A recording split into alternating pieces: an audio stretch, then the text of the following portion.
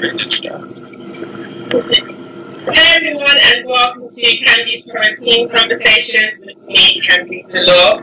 Joining me today on my panel of special guests and they're all here to have a conversation with me about the unfortunate events of the murder of George Floyd, racism and the current worldwide protests. So on the panel we have uh, young entrepreneur Tyrell Prospect, we have Cheryl Phoenix from the Black Child Agenda Movement, Amanda Fitzgerald, who is a PR strategist. We have Amanda Adair, who is a fitness and health and personal trainer. And we have Maya, who is a 16 year old girl, and she is a witness to the movement. I did have a few other guests lined up today, however, due to last minute circumstances, they had to cancel. Um, a police officer has actually been kind enough to send in a recording with some of their views, which I will definitely play at the end of this discussion. So um, I'd like to start off by asking Cheryl Phoenix to just tell us a bit about herself and the Black Child Agenda movement, please.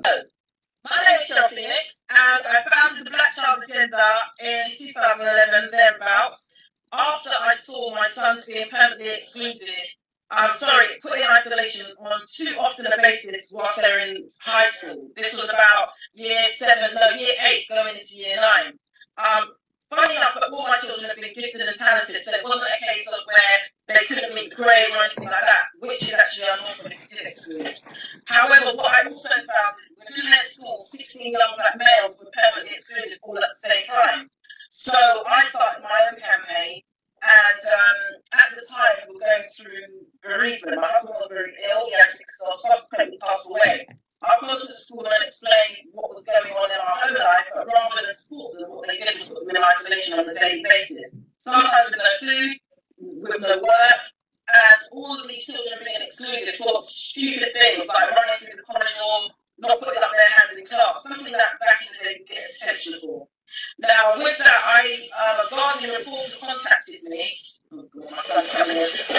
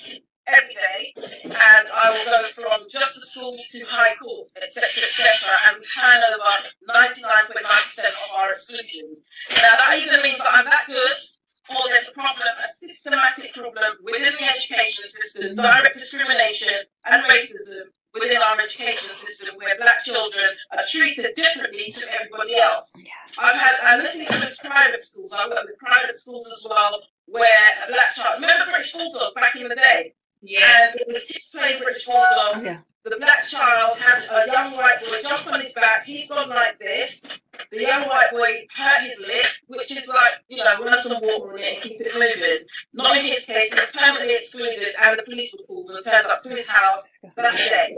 So these are the things that I deal with. And as a child, you don't see racism. As a child, you don't understand, and why should you?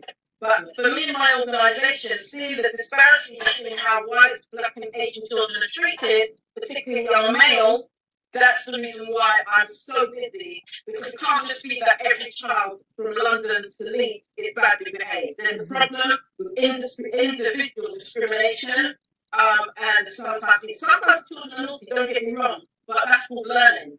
So, but they're not given the opportunity to say that they're learning. They're bad. They're aggressive. You know, some of the things that you see have been written about, about these children, you never believe that you're talking about someone who's only 12 years old. You think that you're talking about a violent, aggressive, some of them are called um, predators, you know, sexually violent, and, you know, it's, it's just out of order. So, in a nutshell, that's who I am and what I do.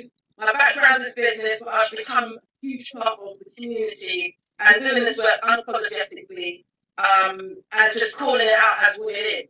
Yes, you definitely are doing that. I, must say, you're doing an absolutely superb job, and so many parents must be seriously grateful to you and the support that you give them and children as well.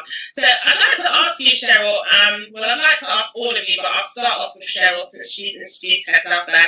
How did you feel when you um, first saw the video of the police officer, Derek Chauvin, leaning, kneeling, sorry, on George Floyd's neck for nearly nine minutes. What went through your mind when you watched that video?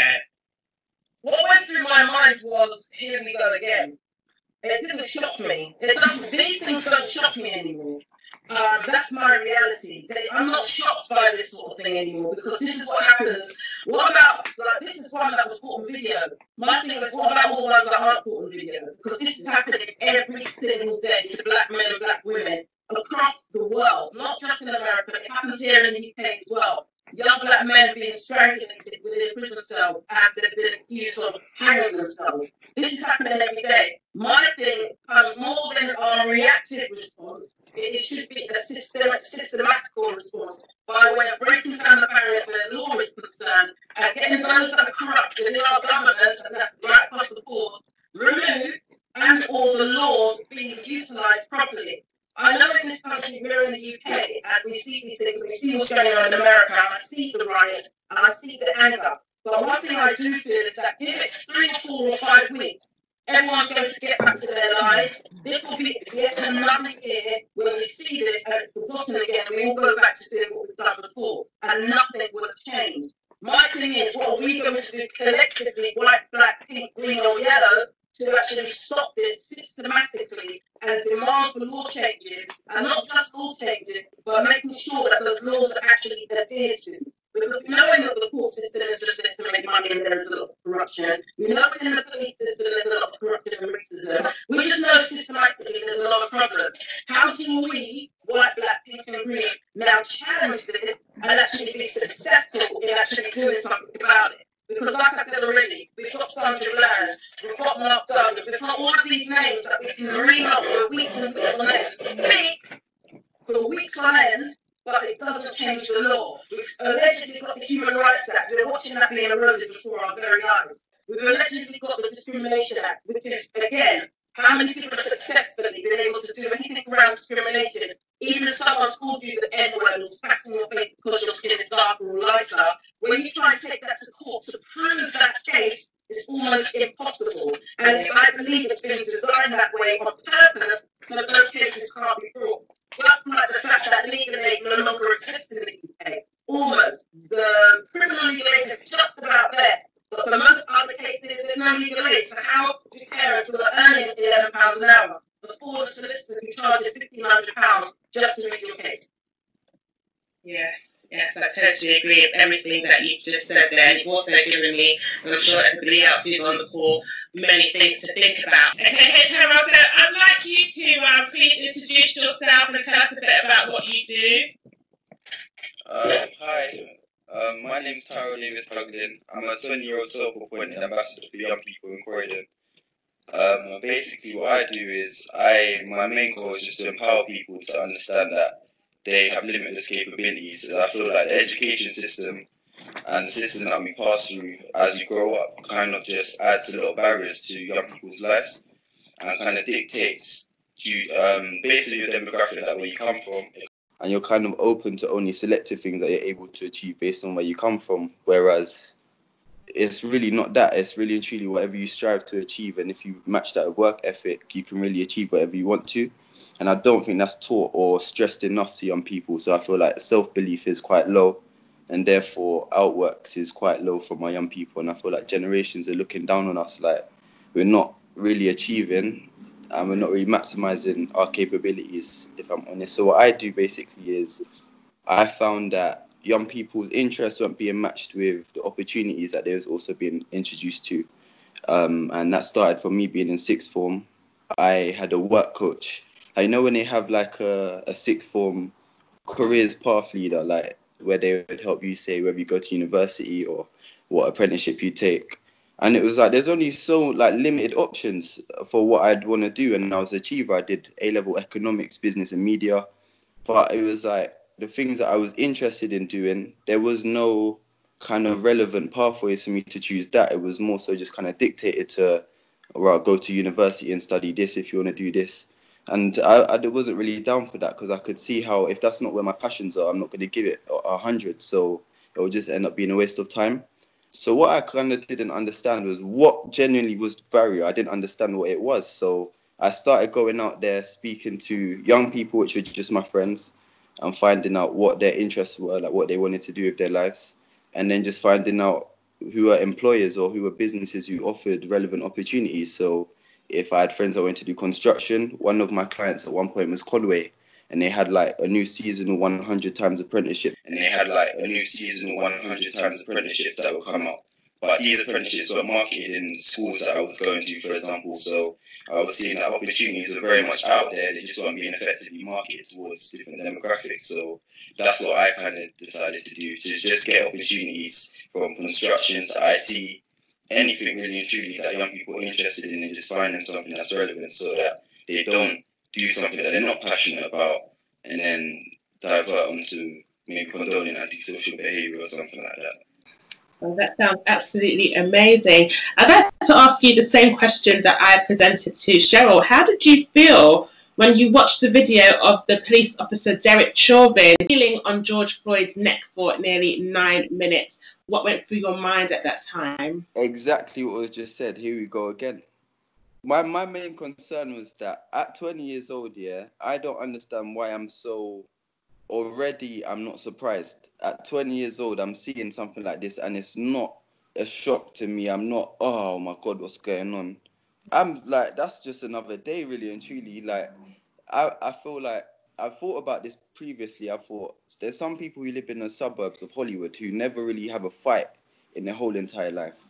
We're coming from a demographic where we can see uh, officer with his knee on somebody's neck and then even still record it and not even try like we this is a sign of it must be a sign of kind of oppression because how can somebody lawfully be doing that? And us as, as civilians we can't intervene and and say well, you're actually killing a man. Like is that there's fear mongering. Because if another human was doing that i'm sure like without a uniform i'm sure maybe the community would have intervened or something but yeah. the fact that there's police and this is supposed to be police police in the community, but then the community can't intervene to save the community. That then what is the police? And I don't understand. Yeah. Um, so I, I was just a bit confused, and it was it was mad because this morning I was watching, you know, like road cops, how they have like motorway cops and stuff like that. I watched some of them shows and stuff in the morning. There was a police officer pulled over the man, and they arrested the man, put him on his on on the floor, um, on his chest, and they had his knee on his back. And the man said, Oh, my back, my back. The police immediately lifted up the white man and put him to sit down on the curb. You understand what I'm saying? So I don't get it. This the procedures have been exercised in front of my face. So why is the procedures not being exercised when it's coming to a black man? I don't understand. Yeah. So I was just I was feeling like it's all good seeing that people the unity and people standing up now and saying we're gonna make a noise about it. But I even went to the protest in London and it's good that we're making a noise and we're protesting but i just wanted to see like i felt like there was like a lack of leadership like what are we protesting for because as it's happened before we protested we make a noise but what are we demanding for we're saying black lives matter but now what are we calling out like are we calling out for a tweet from the prime minister to say da da da are we calling for laws to change? Are we calling for? We're just chanting and making a noise. So I feel like we need to just recoup and see what from this have we learned.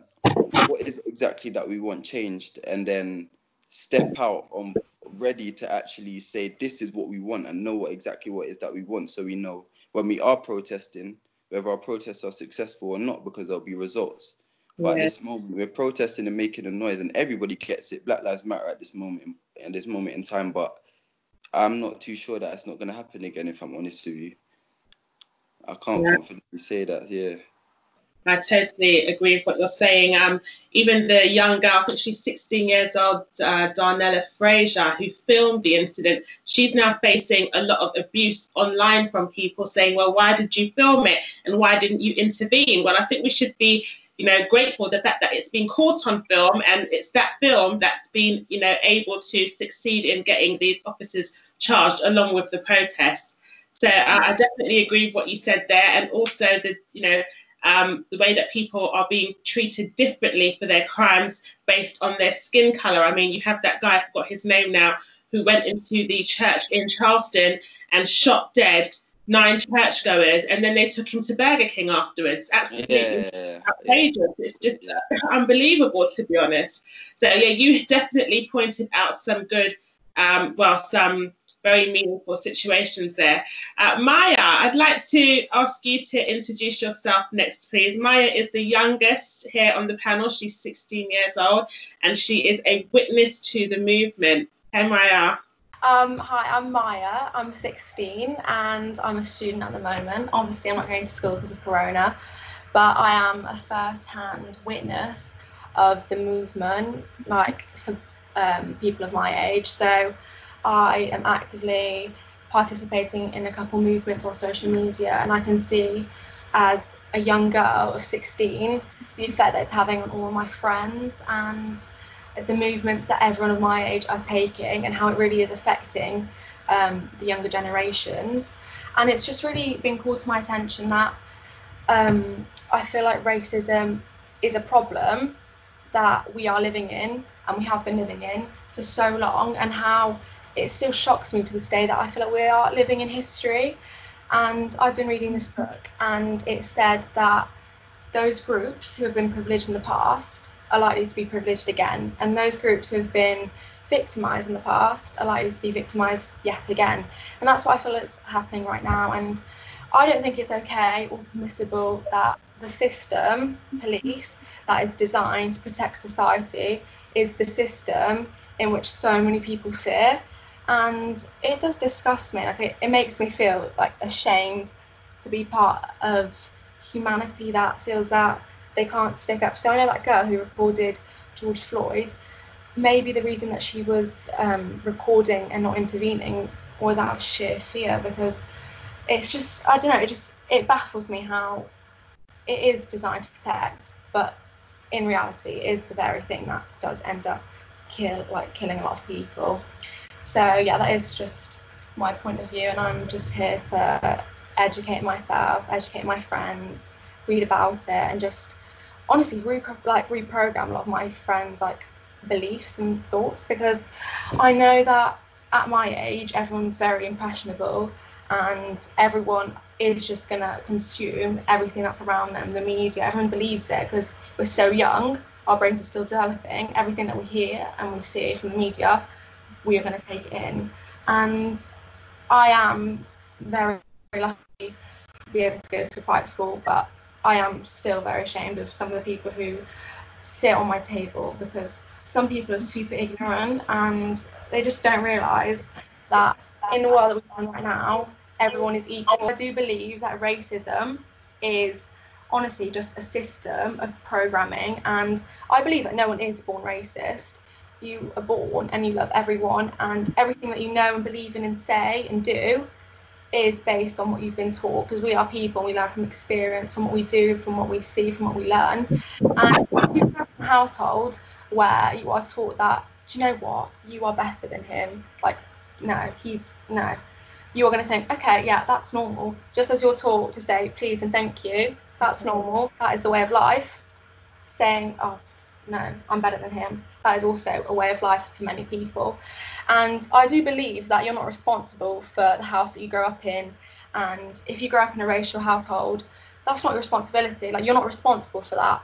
But it is your responsibility to realize that you are racist and that that has been programmed into your head. Even if you think, no, I'm not racist, you might still have those um, implicit biases where you do think, oh, like, I don't really want to be friends with him because you know, like my family wouldn't want him. That in itself is racist. So it is indeed your responsibility, even if you have grown up in a racist household. And that's not your, it's not your choice. It is your choice to educate yourself and to unlearn what you've been taught and to relearn. So that's honestly what I'm just trying to do. I'm just trying to help my friends and just everyone. I'm just trying to realize and unlearn and relearn and teach myself and see how I can teach others. And by being on here, I just feel like I'm educating myself more. And from this, I will read more, I'll learn more, I'll tell my friends more, they'll tell their parents. And just from then onwards, it takes one person, I believe, to change a group, group to change society, society to change the world. So that's essentially what I'm just trying to do. Yeah. yeah. Well, I must say that um, I definitely pick up on your point of um, growing up in a racial household and then there being ignorance and um, you know you feeling like um, it's the duty of young people to educate certain like older people for example about racist situations. I know there was a teenage girl who um, was speaking about, she was speaking to her dad, I think. It's, it's made it viral on a video where she's actually educating her dad and she's saying, Well, you're ignorant, you know, you think this and that about black people, but they're actually being oppressed. And, you know, she really goes into it and back and forth with him. And yeah, like I said, it has made it viral. Um, I don't know if you've seen that video yet. I feel like I have. Is she brushing her teeth or something and her dad's in the background? I'm not really sure. I've seen a video though, similar to that, where her Okay, because the mother was also involved as well, and it's like they were kind of not ganging up on her, but they definitely had a difference of opinion. And the mother and father thought one way about black people, and then this young teenage white girl, you know, she's trying to educate her parents on the reality of the situation, but they're just not listening and they're telling her that she doesn't understand. And, you know, it's quite a bit of back and forth and it does go on for quite a while. And um, got to take my hat off to her actually because she, you know, is going against her family there. That's her parents. And um, she's trying to teach them, you know, what Black people go through and all about the um, injustice that many uh, Black people face, especially when it has to do with the brutality of um, the police mistreating them. So um, that that came into my mind when you mentioned uh, the ignorance of people. But yes, thank you so much for that um, intro and for your thoughts there. Can I ask you the same question that I asked before? How did you feel? What did you think when you saw that police officer, Derek Chauvin, kneeling on George Floyd's neck for nine minutes? It, it really it hurt me like it genuinely had like a physical impact like every single time i see a video and they've all been resurfacing like all of a sudden um, all these videos of police officers kneeling on people's necks and strangling them and beating them up. It literally just lifts all the hairs on my body, and I actually feel disgusted. And I, it just, I have to sit back for a second and honestly just think about like what is society like? Why is this a thing? I don't understand how there are different groups in this world. I do just believe it's the human race, and some person in history decided, okay, so we're gonna make little groups and call them different races, and some of them are going to be better than others.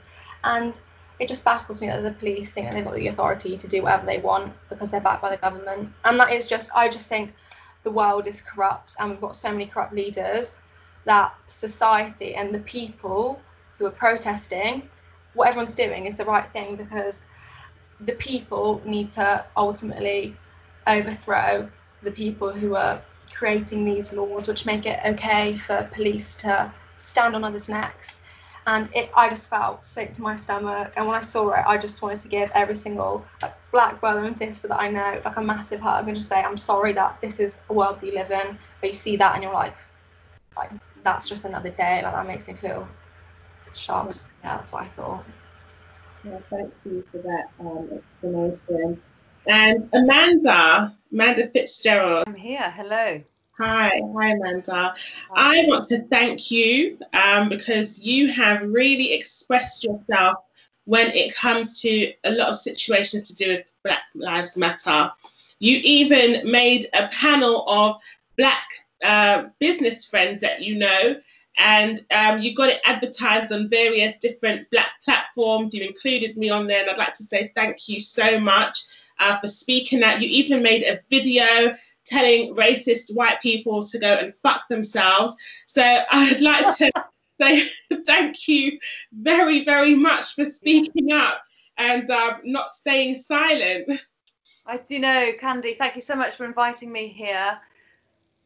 Yeah, I am absolutely disgusted at, at, the, at everything that you black people have gone through, go through, and I really, really hope I mean, this is the straw that broke the camel's back, I hope, you know, because Tyrell said and uh, Cheryl said, you know, oh my God, yet, yet again.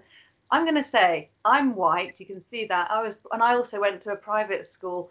We had very very few people of color, but I love difference. I'm a xenophobe. You know, I love people of color and all the rest of it. I'm attracted to speaking with to people. I love to ask where they come from. You know, someone might be black, might be from Africa. I've travelled to Kenya and to South Africa and I've gone to, uh, you know, many different countries. And I just think everybody's got so much they can offer and educate everybody about. My point is, A, they can all fuck themselves, the white people. Um, that's number one. The people who are racist. But we white people, sometimes you will find that we actually are silent because we don't know what to say because we're going to put our foot in it. We don't know whether we're allowed to say the, the you know, whether we're allowed to call you black people. You know, literally, and you black people might think that's really weird of me saying that, but I'm white and I don't know whether you meant whether I meant to call you people of colour or whatever. So for us, I think it's brilliant that I've got so many black friends and they're all educating me on how to say things and how to put it the right way so we don't cause offence. And I've seen quite a few of those placards saying silence is violence. And I actually agree. And that's why I'm really standing up now. And, you know, because I'm a PR person and I think, God, I want to do some PR for you black people. You bloody deserve it. And I really hope that now going forward, something's going to change, something big's going to change. We need to have more white people standing up. It's not just the black, black people saying, hey, hey, hey. It's going to be us lot le- helping to lead this change, this movement, which you guys all need and deserve. And another point is, I want to rant on and say I've got two children, and I bought for my daughter Nina this amazing book called um, uh, what's it called? Nighttime Stories for Rebel Girls. Okay, and you know I never studied Black history at school, and I think that should be on the curriculum. Maya, you can correct me. I don't know whether you study it now. You're 16. Is Black history educated here in the UK? I don't know whether it's Absolutely on the. Absolutely not. That's one of the things which I also think is disgusting about the educational system, and I'm sure Cheryl also sees it.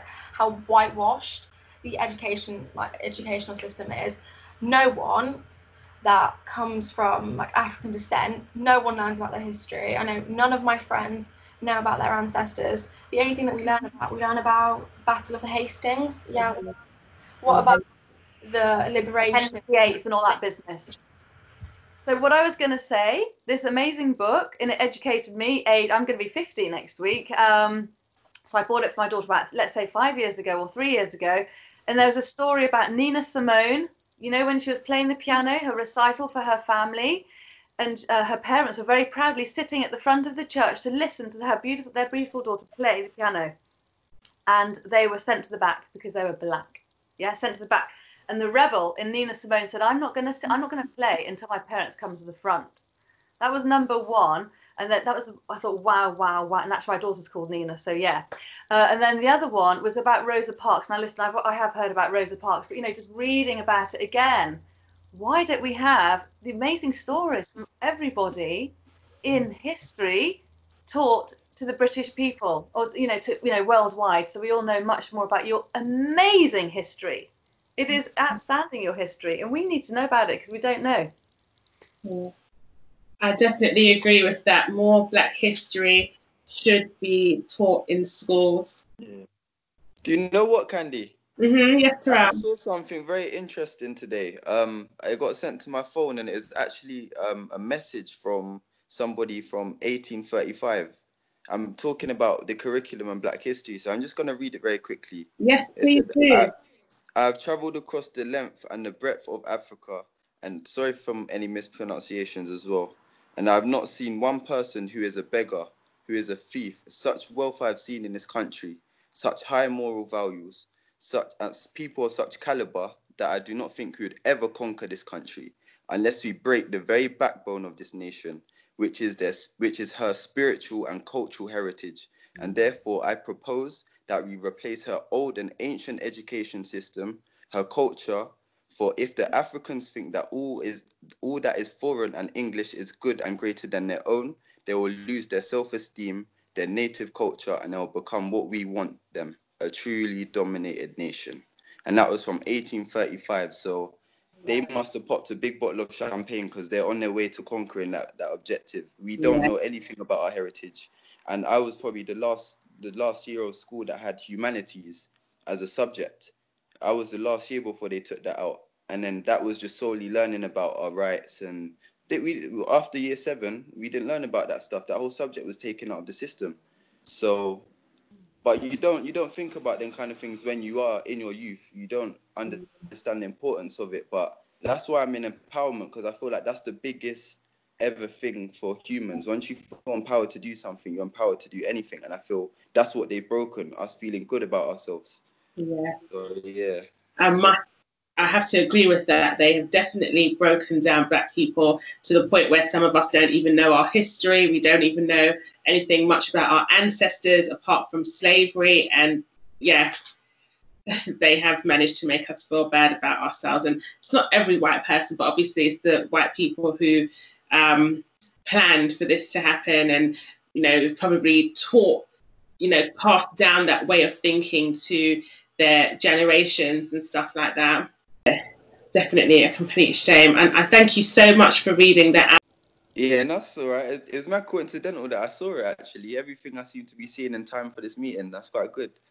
No, brilliant. Um, I welcome it all, honestly. If anybody else has any um, short um, sentences or clips or um, quotes they can read out, then please do so. And Amanda, oh, here, Amanda number two. uh, thank you so much for joining us on the panel discussion today. Um, I really appreciate you speaking uh, with us. I just wanted to know your thoughts really on how you felt when you saw that police officer, Derek Chauvin, kneeling on George Floyd's neck for nearly nine minutes? So so many different thoughts, really, um, and what one of the main ones I think that's kind of popped up over the the last week is just kind of embarrassment for myself that it's taken this long for the white community to take like take responsibility. There's no words for for injustice like that you know um and and and it is it's ridiculous that it takes something it takes a man being murdered in public on video for for this for this revol like revolution to to be moving. It, it shouldn't have taken this long. Um like everyone before has said like you know the the education in schools we we we don't get educated on this. Everything is structured for our benefit whether we like it or not. So it's not it's not a case of saying you know oh i'm i'm not racist. I've got you know i've got black friends. I've got um you know bipoc friends anything like that. We have benefited from a system for generations from a system that benefits us. And um, for, for me anyway i've found this this week where i've i've been saying little bits but not saying much in the sense that i've been waiting to sort of educate myself a little bit more. I made sure that i said something because like you say silence is so destructive. The same as you know not voting.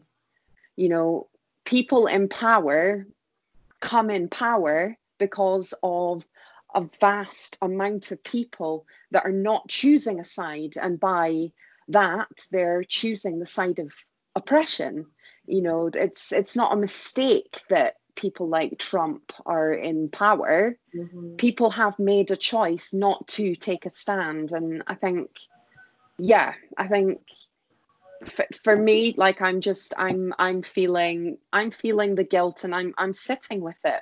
You know, I've got lots of amazing friends of all races but you know i feel like not only have i benefited from white privilege but i've benefited from having amazing friends amazing black friends amazing again friends of all races but not taking the responsibility to to educate myself on the burden that they don't rightfully carry. And you know and and that's not okay. Um and i'm i'm seeing a lot of people a lot of white people sort of reacting um, to, to and judging on you know anger and things like that. And i do a lot of studying on cptsd um, so so trauma um, from from my own experience. And it, it just kind of goes to show that people have they harp on about mental health and you know caring about everyone but there has been a very very apparent um you know it, i can see so widely how people are not trauma informed because they're not respecting people's pain mm-hmm. you know not respecting that you know this hasn't been it isn't just something that's popped up it's something that's been going on for a very very long time and we have no right to tell people how to react, how to feel, to all of a sudden infiltrate, um, you know, the people that are trying to teach us yeah. and, and take up space when really we should be listening and, and learning and taking what we listen and learn and sharing it in amongst you know in my case other other white people. And you know it's it's it's our duty to continually learn. It's not going to be overnight. It's it's going to have to be something that's continually worked on. What you said about silence being destructive, it's very true. And I think that a lot of people who have been silenced over uh, certain racial experiences that they've gone through, um, they're now speaking about it, they're now being open about it. For example, the MC Lady Leshurr, uh, she put a post up before I actually started this call and she spoke about an experience that happened to her in Spain where she was just at a store and um, the security guard came up to her and called her, I think, a black bitch. And she then said, like, why are you calling me this? And all of a sudden he took her arm and put it behind her back and she got out of it. And then um, I think he kicked her in her stomach and slapped her around her face. And, um, you know, I think that yeah, he then stopped her. They stopped her from boarding the plane back to the UK as well.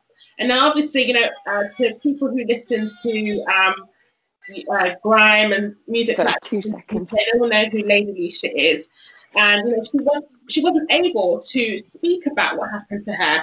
And I think that this outrage now that's poured in from what happens to George Floyd. It is making people angry. It is making people share their experiences about being racially abused. And I think that it's something that, you know, as unfortunate as it is, it needed to happen because even just holding those experiences in it damages you mentally, you know. And when people are telling you, oh, you know, it's better you don't speak about this or it might affect your career, it's like how yeah, yeah. John Boyega. Yeah. It's like him, you know, he's gone to the protest, he's spoken openly and he said, fuck his career.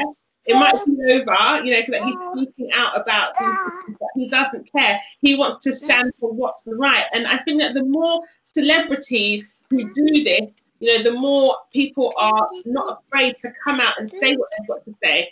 Um, I know there's other celebrities in America as well, reality TV stars who are also standing on the front line at protest actors out there as well who are speaking out openly and you know um, expressing how they feel about what's been going on. So that's also um, something that's you know that's something positive that's come from this. I think that unity is another thing that is, um, you know, that's had a positive effect on this. Everybody's coming together internationally from London, America, you know, loads of different countries. I've even seen people in um, New Zealand. Sorry, I've even seen people in New Zealand doing ancient dances to support Black Power. And um, sorry, uh, sorry, I thought someone was saying something. No. I said it was the, the haka dance. The New Zealand um, yes. rugby players did the haka. Yes, that's it, Cheryl the globe is standing up. But you know, on your point quickly about the celebrities, yeah, my view is I'm John Boyega. I have nothing but 100% respect for him and what he had to say. The fact that as a young black man he broke down in tears. Mm-hmm. But I tell you what, his management team, he signed to Disney, right? They tweeted saying that they, he has their 100% support and respect. Star Wars, yeah, he's in Star Wars. Sorry, my son's just correcting me. So they've already said you've got our you've got our support. So for that, that's but my thing with the celebrities, every single footballer, black, white, or indifferent, every single celebrity, we're sitting down watching your movies, we're paying your wages. Yeah. You should all be standing up and saying something so that this doesn't happen again. Yeah. And for the footballers, refuse to play. When they're throwing bananas at you on the pitch and you're speaking out, and you're being ignored, now is the time to say, well, actually, we've been trying to tell you this for a hot minute. The only thing you're interested in is how much money we make you, but we ain't playing none of your games, with or without an audience, until we see something change.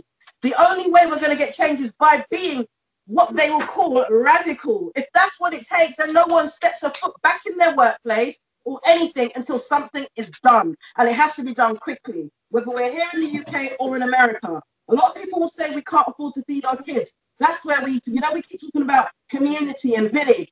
I have three freezers in my house filled with food. You say you ain't got no food, we'll come to your house and bring you something to eat. You and your children won't be starving. And this is the type of thing for those of us that aren't racist, for those of us that can afford to do so, we have to be that radical. Because imagine none of us go back to work tomorrow if we're working a nine to five. How this economy will shut down yeah. and the drivers, the hospitals, the this. Because nurses face the same discrimination and racism. You know, people in parliament face the same discrimination and racism. Every single echelon of society, every single workplace, unfortunately, we're faced with racism and discrimination right down to the media. People yes. like the Daily Fail who constantly are berating black people. Uh, they don't say anything positive. Even that guy on the breakfast TV in the morning, all of a sudden has said, "Oh, if Madeleine McCann was black, I don't think she would have got the same mm-hmm. um, type of coverage." We know that. That's not new. We yeah. You need you to tell us that. We've known mm-hmm. this for mm-hmm. years. Anytime we as black people say something, you tell us we've got a chip on our shoulder. No, we don't have a chip on our shoulder. We've got two boulders and mountains on our shoulders because we're carrying the weight of your systematic oppression and we're sick of it. And anytime we speak about it, you say we've got a problem. We do have a problem. It's called racism, it's called discrimination, and it's called, you know, it's systematic. So unless the celebrities, those of those in the public eye, are using their platform to actually support, then what are you really doing in that position? Don't complain if we don't come and see your movie, white or black use your position, use your power. You have millions of people following you, and you're not doing anything. I'm not saying all, those of you that have done something, big up to that, but more needs to be done. I'm tired of this conversation. I'm bored, not this particular one, but I'm bored of this conversation. We've been having this conversation from since we've been in this country, and nothing's changed. How many more black men, women, children need to be killed before everyone does something different. And that goes right to the education system where they're destroying our young black boys and girls, right to the workplace. It's all way all the way along. So when um as the sister lady here said in the tiger print, one of my favorites, you know, it's white people, black people, and the construct, I'm 100% in agreement. Unless we collectively kick down these barriers and break down these doors, and to be honest with you, us as black people have been trying. We've been trying for years. We've been trying politically. We've been trying economically. We can't get the same loans. We don't get the funding that is out there. They say we've got 10 million pounds of funding. When a black person applies, you're lucky if you get five grand. But yet we know our communities. We know our young people. We know what's going on, but it's not happening. But yet a white organisation can go in, just put BAME in their funding application, and they'll get 3.7 million pounds. And I'm mm-hmm. being quite specific about that amount, amount because I know it happens because I've witnessed it happen year in and year out. So these are the things that, unless these things systematically train, constructually change, we're going to have this conversation again next year. And whether we like it or not, for a lot of people within the Black and Asian community, like it or not, sometimes we need to count on white people in the in the country who can stand in front of another white person who may be racist and say, well, actually, this is not acceptable. This is not acceptable. We're not going to have this. And if you don't change this, then us, we us as white people are going to do this, this, this, and this, and we're going to push for change on behalf of this. Community. I agree with you, Cheryl. And also, if you, I mean, I'm an addict to the news. I do PR, so I, I watch Channel 4 News all the time. And, um, you know, you have, I don't know whether he's still, you know, the head of the Metropolitan Police, the racist thing, you know, Trevor Phillips, you know, or the Football Association, the, the anti-racist, they're, they're all black people. Why not, why aren't there white people doing it? You know, and I'm not saying it's because they're going to get their voices heard, but they bloody will get their voices heard if you have white people heading up these, you know, these organisations which are trying to help out against racism. I think that is, you know, maybe they need to have a, a black and a white person so they can both help educate each other. Do you know why that is? What the what I find, and this is just my personal opinion, and this is no disrespect to any organisation that is black fronted, whether they're from the government or whoever, football. What I find is there's a problem. The easiest thing to do, just like when they when they want an interview on TV, is call on a group of black people that they know throw them in a position with no resources, no real power, and say, right, okay, look, we've done something, we put some black people there, they're fighting the campaign and the cause, but they know they have no power to change anything. There's no resources to change anything. And then it's just a bunch of black people in a position that does nothing and then they feel that they've fixed the problem. When they know the problem is those that are attending those games. They know the problem is their colleague down the road who goes around calling one of their football players the n word or whatever it is so they do this all the time. You know, that I've been called on many, many, you know, police chiefs, hotlines, and gone to meetings. And it's all they want to do is hear what we've got to say as the solution. And then they're like, all right, like, thank you very much for coming. They've ticked that black box, they've yeah. ticked the Asian box, and then they do exactly the same thing. Nothing. Mm-hmm. And that's what seems to happen year in and year out, which is why us as a community are still in the same place as we have been since we've been here. In fact, we've actually gone backwards. 75 years on, we've gone backwards from when we first came here and established ourselves. And that was with no bank loans because they still don't want to give us bank loans. That was with no funding because they still don't want to give us funding. And we managed to make it work. As soon as they systematically broke down our family structure and how we actually saved money amongst our community, that's when you see everything fall apart and what we're witnessing today with gun and knife crime, with regards to the disparities, just all the things across the board. Once we as a community take back this power, as well as getting the support that is needed out there, that's when we'll actually see change. Sorry, I was going on, but I'm just passionate and I'm just annoyed. No, I agree with everything you said. I think everybody listening will as well. And um, you can definitely tell that you're passionate about it. And I appreciate you for being honest and open because I think that is something else that is going to take more people like you who are not afraid to speak out, who are not afraid to tell the truth and say it as it is without fear of the backlash and you are absolutely fearless. I mean you gave up your job you took on you know you started the black child agenda as something that you do full time like you said you are winning 99.9% of cases. So i think that this really is a job for people like you for emotionally strong people like yourself. And i have to salute you to be honest. Um, and when you spoke about the celebrities, more celebrities needing to come to the forefront and, you know, saying more about it. One celebrity who I must say did an amazing job um, was Joaquin Phoenix, and he spoke out about this situation at the Oscars. I don't know if anybody oh, remembers. Oh, yes, yes. and um, that is exactly what it's going to take. So I definitely agree with everything that you said there. Is there anybody else who um, wants to reply to what Cheryl's just said? With the call for celebrities and and like I said before, is that even the protests we have like a lack of leadership, and it's like we need more leadership figures. But what I have to say is that rest in peace, Black the Ripper as well. There was an occasion where a celebrity has spoken out about their beliefs, and they actually it, the whole world operates over over a fight for influence. And once you have influence, you become powerful because you have influence over people's actions and what they think and da da da da. Now, somebody who has influence is, is communicating their opinions, and that is a threat to somebody who's pushing a certain type of agenda. And he's wound up mysteriously dead as a celebrity, in mm-hmm. which it's there's no cause of death yet to still be given to the people. Yeah, I can see why there's not a mad incentive for people with beliefs to speak out, but it will be a thing where if you actually see what's going on in the world and you don't agree with it, you need to understand what you actually stand for because a man who stands for nothing will fall for anything. So do you stand for your freedom or not? So yeah, there will there will be a fight. It's not like it's gonna come easy and and everything. But we've had leaders that go down in history: the Malcolm X, the Marcus Garveys, the Rosa Parks. Yeah. They're there for a reason. Do you understand what I'm saying? Because they spoke out. A lot of people don't want to speak out because they fear the repercussions. Why are we fearing a system? It's an invisible threat. It doesn't make sense. Yeah. So I think, yeah, they, I do understand why certain celebrities may have not spoken out because they have an influence, meaning that they are actually players on the game, which can endanger themselves. But what do you stand for? It's a thing of literally that down to your core. What do you stand for? Is it the freedom of yourself and your people? If it is, then forget. Then death is going to be your calling if that's your calling. But you need to stand up. You need to because the way that we're heading now, like we just heard, it's not. It's not going good. It's not going well we need to stand up right now.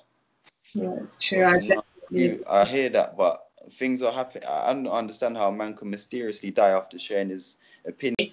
Well, I've heard quite a few rumours surrounding his death, but the last one I heard was that he'd had a heart attack. I also heard that he fell off a roof. Uh, I know that he died in the Caribbean island of Montserrat, yeah. so he wasn't here in the UK. Um, I think it's quite suspicious that a cause of death has not been given yet, but maybe that could be down to his family wanting to keep it personal. Who knows? But I'm sure that we'll get an explanation for it. But um, whether the explanation is true or not, uh, that's another story. Yeah. Um, I know that George Floyd, um, something coming out about him. Well, it's come out about him that he had coronavirus. Now, yeah, I don't know how true that is because obviously, when you have coronavirus, you have problems breathing. So they're going. what does the officer have coronavirus now? Because I'm um, he was within two meters.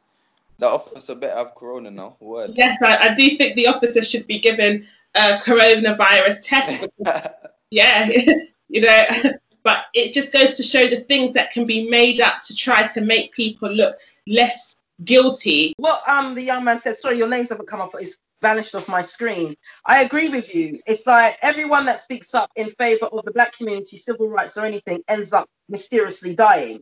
Um, see, the difference between um, one thing and another, and those that are on the front line, so to speak, or the celebrities who can speak up now, them and myself, with my small little self here, just doing the black child agenda, minding my business, I'm not afraid to die. That's the difference. I don't give a damn. I'm not scared to die. That's the one thing. I've prepared my children that if you see me get taken out, you know why. You understand? I'm not I'm not about to kill myself. I enjoy a good party, I enjoy a good drink, I enjoy a good smoke. So if I was if I died in a party or something, then you could probably understand I slip and broke my neck. But I'm not about to hang myself anytime soon because I'm depressed. I don't suffer with anything like that. So if that does happen because I'm fighting for something, that means that as a community and as a people, even more so, if you know someone's life could potentially be under threat because they're speaking out against injustice that they're facing, their community is facing, then they're only being killed because that needs to be silenced. So that should make you even more determined to stand up and say something and do something. Well, the one thing I'm not scared of is death. I'll probably come back in another in another life, but I know the world can't manage two Cheryl Phoenixes at one time as it stands. So it's like that for me. That's cool and that's why with even with regards to my organization we've set up a new one which is literally standing up for the voices it's called one voice and i'm sorry for the quick promotion but it is for that we need to about this yeah we're, we're literally and it's like again right across the board people that are facing discrimination within the police force within the nhs within teachers i speak at the national union of teachers on a yearly basis for the black teachers network Teachers are leaving the teaching profession in their droves because they see the discrimination amongst our children. Now, if you have a group of young people who have been literally ripped apart by a system, they're in you, they're with you 30 hours a week every single day. By the time they get to 15, 16, 17, of course they're going to be miserable. Of course they're going to be bloody angry. Of course they're going to be upset. Of course they're going to be completely disengaged And this is a systematic setup. So if you get them from as young as possible to hate themselves, everything they stand for, and even their view of the world, by the time they get to 16, 17, or 18, like the young man said, there's things that you're going to genuinely believe are not for you, are not accessible to you. And my sons were quite lucky because at the time uh, when I was running my company, I gave them access to so much, eating in the finest restaurants, going to, you know, JP Morgan Chase, being mentored by the top name barristers, traveling the world, because I could see they're young black men. I don't want them to be caught in a mental trap that they can't see themselves in a particular position, being a barrister, traveling the world, you know, conquering everything and don't let anyone tell you no. Not everyone has that opportunity. So, you know, we have to create that. And why is it that within the schools? Because remember, that's a lot of your foundation as a youngster, is what determines sometimes how you're going to be as an adult, unless you've got someone around you that can speak to you and change that narrative. Why is it within state schools or these new private schools now? Because they're all private businesses. They're not teaching certain things on the national curriculum. They're not teaching business and economics. They're not teaching anything that will make a young person become a better human being. They're teaching you that you're only a slave. They're teaching you that white supremacy is okay, which they call the British Empire, you know, but they're not telling you what the British Empire did around the world. Why is that? Because they want a place of nothing but workers, people to go and get nothing but a job, which is just over broke. So you work for three, you get paid for three weeks, broke by the fourth, and then you go back into the system again.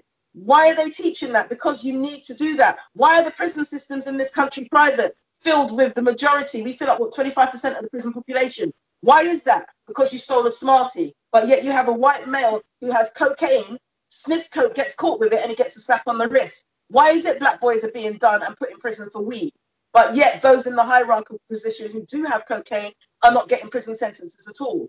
Do you understand what I'm saying? So we have to look at uh, the construct of this. It's I know it's a mammoth thing, but if we're if these babies are being taught from so young coming up that's already sowing a seed in their mind that now parents are trying to unpick at home with the few hours they get on an evening and a weekend. Then when they become adults, now what? You just go, the only thing that you think you're able or capable to do is what you've been told by the careers advisor, who probably didn't even pass her exams herself. Oh, I'm feeling that, what you just said. Wow, but I'm definitely going to be keeping a lookout for One Voice. I think that the work that you do, Cheryl, is absolutely amazing. And that's why I was super excited to have you on the podcast today because I know that you do so much within the Black community. And I hope that um, your works do come to light even more after this podcast and the right people, uh, you know, connect with you you too, Tyrell. I know that you do a lot, especially you know with um, young black males, and um, you're always doing things. You know, you're always encouraging empowerment. Um, you're two people that I must say are a, a really positive force uh, for Black people. And um, it's been an absolute joy to have you on the podcast. And you, Maya, as well. I know that you've also got um, a mixed heritage background and um, I know it quite it could be quite difficult for you sometimes, um, feeling like maybe piggy in the middle, so to speak. But um, you are very knowledgeable. So, just one last thing, I just wanted to say that the reason that I feel the need to speak out so strongly is because, as you said, Cheryl, the fact that you need to have that conversation with your children. That do you know what? If I speak out and I do end up mysteriously ha- like hung, that's not me. The fact that you need to have that conversation, mm. and personally, I would never feel the need to do that. That is my white privilege shouting itself out to me. And just the fact that you need to say that is why everyone needs to educate themselves. Just the fact that even if you speak out in this day and age, you will be oppressed by some massive force and they will mysteriously cover up your death. So it is just a massive, huge systematic problem that every single person, everyone in this planet needs to face because having that conversation should not be a thing. But yeah, yeah thank you. Anyway, definitely. I think that part that you said, Cheryl, about you know telling your children if anything happens to me, you know that's not me. You know, and you're right. I mean, you are right to actually tell your children that. So if anything does happen, which I pray that it doesn't, and I'm sure it won't, but um, I mean, that must be really difficult to actually say that to your children. And I'm sure that cases such as, you know, Sandra Bland's, it does make you think sometimes, you know, and it can even be a bit scary when you speak out as well, you know, along the same lines as what she did. So I definitely commend you for your work. You are very strong and brave. It's just work that has to be done because my thing is, if I wait for somebody else to do it, it will never happen. So I looked what how I started was I looked at what was going on around me, even with young people hanging out on the street sometimes. We started a youth club. We said to the building people that were there, we're like, give us the, the, the building three hours a week. Let's have a youth club here because the kids are on the street. And I found myself kind of trying to judge, like, oh my God, look at these kids. My children are so perfect. And it's like, well, no, actually, open up a youth club, do something on your doorstep. That's what I did. And then even doing the Black Child Agenda, was a case of, well, I see this going on. I can just go and run my company and go on five holidays a year and do all of these things. Or I can take the responsibility for our young people and actually do something different rather than complain about it. So that's what I did. So I made that conscious decision. But all the way through, I've also educated my children and they have, you know, they got hotlines for anyone in any field because I've met, I've positioned myself and my organization so that if they need support in X, Y, Z, A, B, C, they can pick up the phone. Um, but yeah, I, you know, for me, it, it's my responsibility as an adult. It's my responsibility as a parent and a member of the community. Any young person that, like where we live, could knock my door. They they can't go hungry around here. They can't go without clothes. There's certain things that we just do that we used to do as an old school, particularly African Caribbeans. We know how we were raised. Why are we not living like that now? And yeah. that's how I brought up my children. My sons can knock anyone's door around here, and I know I don't need to worry from, from since they were young to this day. So I created my village where I live. And that's what we all need to do where we live is make sure that we have that foundation for all of our children and all of the kids around here. Not one of them disrespectful. Good afternoon, Auntie. How are you? picking up bags, making sure, you know, and it don't matter what color you are either, because I know there's this thing about the white black thing. It is there, but I believe that racism is a systematic construct. Mm-hmm. And generally, most white people I meet, they could, they're cool. Do you understand? Mm-hmm. And they may or may not be feel that I'm cool too. But I will always unapologetically stand for what I believe in, stand for the black child agenda primarily. Not to say we don't deal with anyone else, because no one is standing for the black child and family. I can't name an organization in this country that stands for the black child and family. So if no one ain't doing it, then that means it's my responsibility to do it then. And I'm quite happy doing that too. Thank you. Well, my last question for everyone is how do you all feel watching the police in the US um, mistreating the protesters? You know, some of them are spraying gas in their faces. Some of them are driving past the protesters fast in the police car and opening the door and whacking them. Some of the police have even driven into crowds, yeah. beating people, just so many different methods of abuse. What do you all think about that? I'll ask Tyrell first, please. I think they want the Black Panthers to come back. Mm. If I'm honest with you, I don't know what's going on. Because I've, like you said, I've genuinely seen the abuse. Like some of these protesters who aren't even actually retaliating or attacking or provoking any kind of hurt towards them and police just walking past and just spraying their faces and stuff like that. I'm not sure because I've seen I'm not a conspiracy theorist or anything like that, but I've seen videos of, of people reporting like bricks and stuff. I've, it's been reported that police, or not even police, but been leaving bricks in certain neighborhoods. Mm-hmm. Coincidentally, I'm not sure who it was. I'm not going to put any blame, but. Bricks have been left and weapons have been left in certain neighborhoods as if they're inciting the right to start. As if people are expecting black people to demonstrate their frustrations through rage and violence. Mm-hmm. Where black people are finally starting to realize that they are better they are better than that. It's starting it seems like a setup.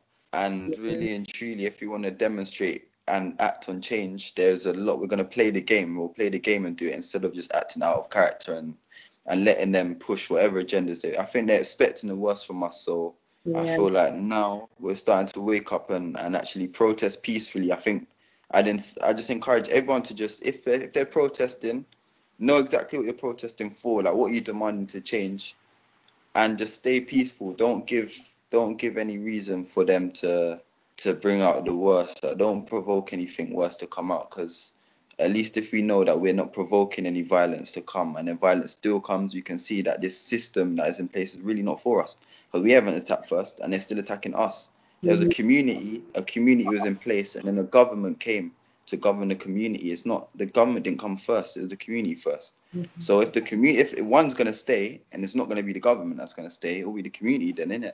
Yeah. So I feel people need to just understand that we really do have the power. It's not there's it's invisible. Your your threat is invisible. It's oppression. It's not a real person. Understand? So yeah, nah. I feel like people just keep waking up, and most importantly, I'm seeing Cheryl's doing the, the talking of a of a queen and stuff because at the end of the day, she knows Yeah. information and content and her heritage and who she is. Yeah. A lot of us don't know who we are. That's why we're not talking like that. When you Yeah. know who you are, boy, that's when you start, start talking and you know what you're passionate about and you're unstoppable. But if you have a nation of people like that, that's when it's game over, man. I feel like all of us need to just lock down. How about we do lock down and educate ourselves and then come back out on on some new stuff. Just ready, man, because yeah. Yes, definitely. And Amanda Fitzgerald, you're uh, you work well, you know, you work alongside media. So how did that make you feel seeing the you know mistreatment that black protesters were going through by the police in the USA? Hideous. Exactly the same gross feeling I felt when I saw, you know, the the knee on uh, George Floyd's neck. You know, it, it is gross, but I have also seen them attacking white people as well. Mhm. Uh, but yeah, why the? I mean, okay, I think it's Donald Trump who's bloody well instigated, or in, you know, said, "Come on, then you're all jerks if you don't, you know, if you don't." You know, if we're going to, going to be like a walkover. looting, we start shooting. That's what he said, isn't it? Yeah, looting all that business. So I think he's got a lot to say. And uh, and as Tyrell just said, you know, God, it's brilliant to be seeing these people now doing peaceful protests. Like there's a guy who's trying to get the uh, the sign, the road sign off, um, you know, high up. He's he climbed up a lampshade, uh, what do you call it, light thingy, and then they all told him off. They said, no, no, no, get down, stop it. Let's do peaceful protest. They're trying to, you know, get the gates near the White House, and again they're saying, shh, calm it down, calm it down. So that is, you know, that is the way that it should be, and I really hope and pray that that kind of that way, and then you're going to be rising above the bloody oppressors if you control it like that. I just quickly want to say, a movie I saw. I don't know whether anybody else has seen it. I saw it about two years ago, and it literally changed my life and opened my eyes so wide as a white person. And it was called The Hate You Give. Has anybody seen that? I've heard of it, but I haven't seen it. Okay, I, every I, I do you know? I think every white person needs to see that. I watched that movie, and there's this kid driving, black guy with his black girlfriend, or you know, potentially they were going to become boyfriend girlfriend. Uh, the policeman stops him. I don't want to give you a spoiler, but let's just say he was grabbing a hairbrush, and he anyway, it all ends out really disastrously. Um, and watching that movie, I did not, I don't know this racism that goes on, okay? I do not know because I live in a little village, you know, blah, blah, blah, but obviously I hear about it. But I think everybody should watch that because I literally watched that movie and I wanted to give a hug to every black person I saw in Asda, anywhere, thinking, I'm so sorry of what you have to go through. It's such an important movie. I don't know how we can get more people to watch it. I couldn't bear watching it, to be honest, because I thought I'm going to get angry, and I tend to get Maybe, yeah. upset when I see these things. It really disturbs me.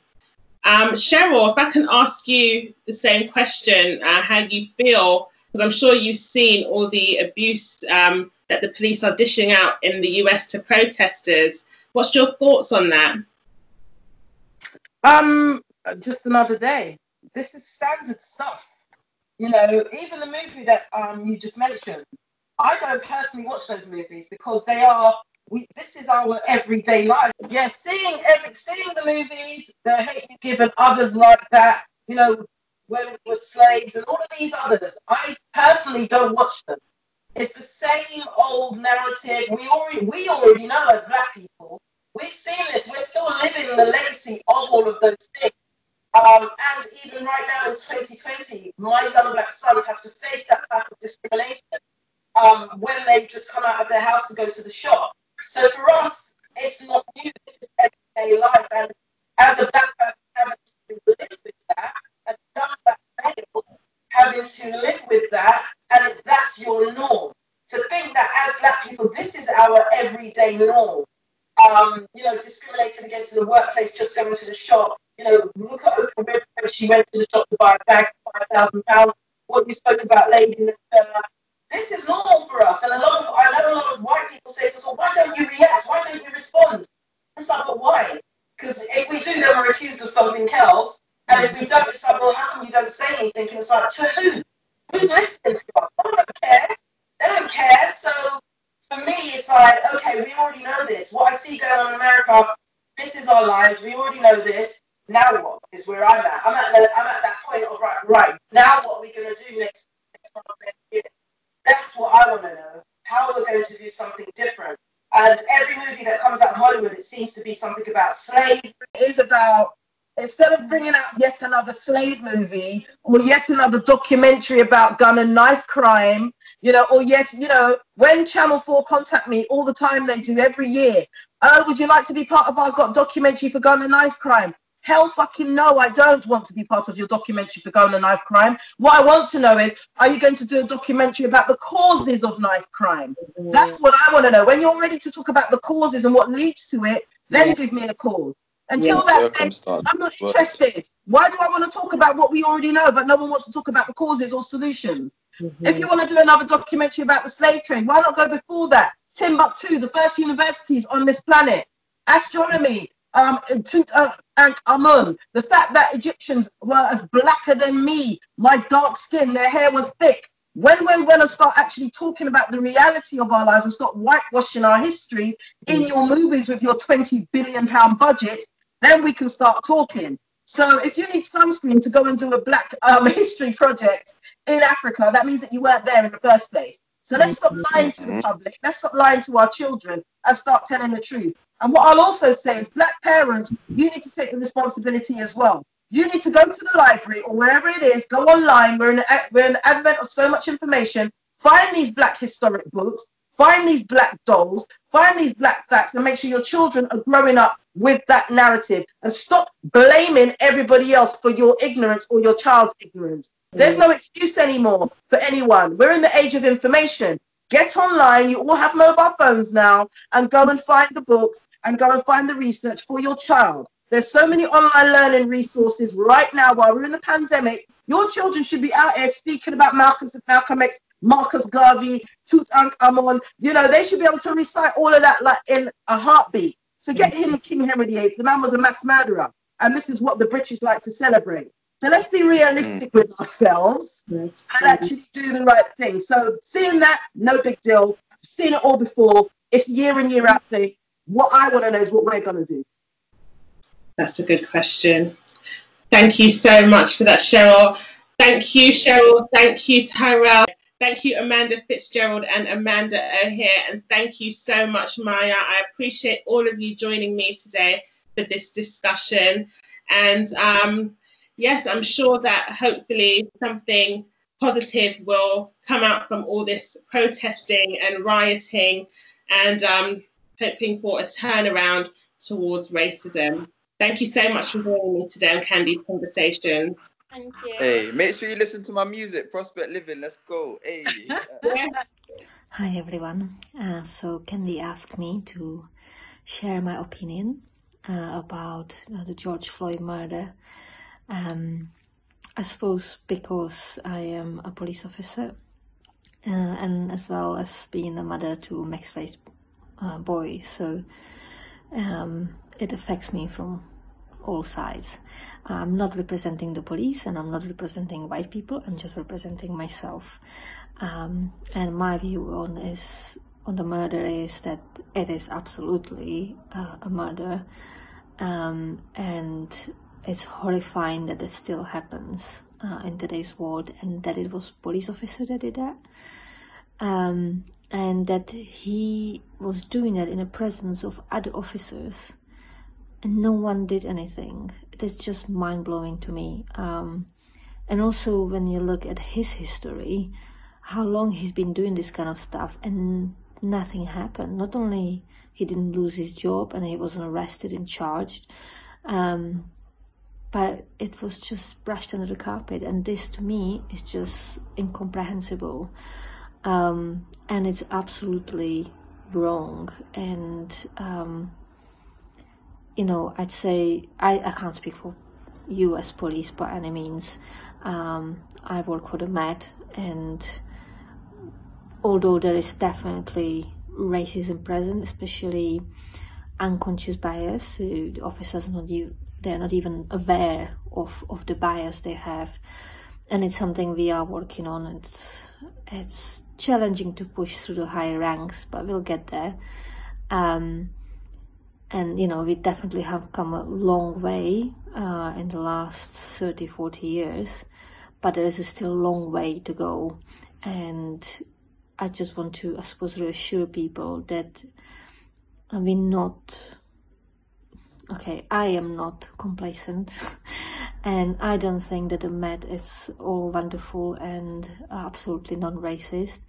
Um, i know that i have the biases and for years I've been working on them uh, and still have to. You know, it's something that's so ingrained from your upbringing that it, it's challenging to be constantly aware of, of your thought process, but that's not an excuse not to do it. Um, and, you know, we, we all have to take part, we all have to uh, raise our awareness of what's going on in our heads and uh, make sure that we don't act on it. Um, so I don't want to make this video too long. um, so this is my piece. Um, it's wrong and I'm glad that um, there is a massive movement, uh, that it's, you know, becoming really big and really global. Um, because I'm hoping that this will shake people up and we can finally start making real changes that need to happen um, and make this world truly equal for everyone. And it will take years, but we got to start somewhere. So that's my piece.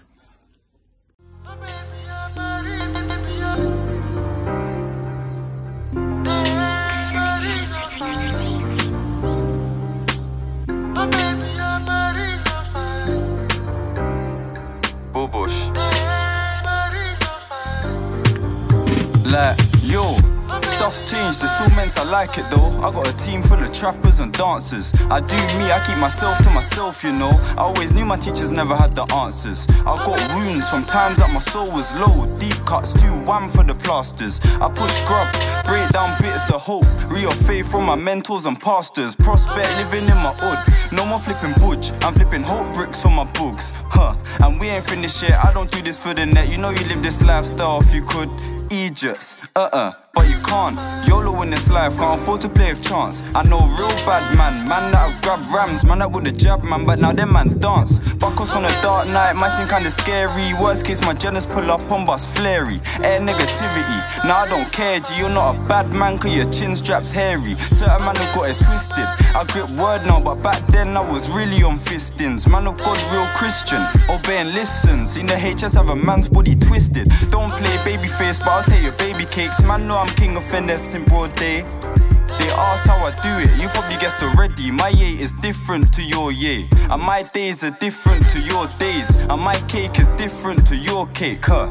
Trap and joke, do the things you wish you could. All my members got a legacy to make. Trap and joke, do the things you wish you could. All my members got a legacy to make. All my members got a legacy to make.